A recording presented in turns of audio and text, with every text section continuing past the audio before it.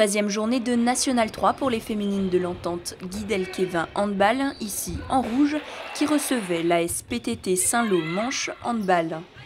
Dès l'entame de match, les Morbihanaises enchaînent les réalisations pour prendre l'avantage. À la mi-temps, elles comptent déjà 12 buts d'avance.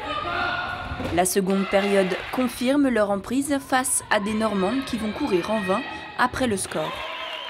Guidel-Kévin s'impose largement de 10 buts, 31 à 21. On a été très solidaires, ce qui nous manquait depuis quelques matchs, la solidarité entre nous.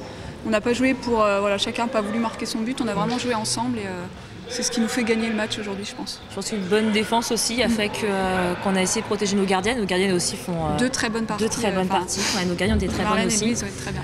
Donc je pense qu'il y a ça aussi la défense et le fait qu'on soit resté vraiment solidaires et, ensemble jusqu'au bout. Quoi. Dans ce championnat très serré, la victoire était impérative pour les Morbihanaises.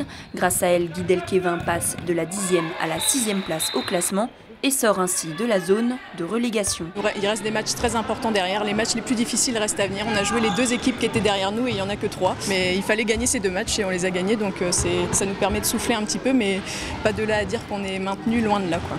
La clé de notre saison, ça va être qu'on défende fort comme on arrivait à le faire l'année dernière. Cette année, on est un petit peu en difficulté là-dessus.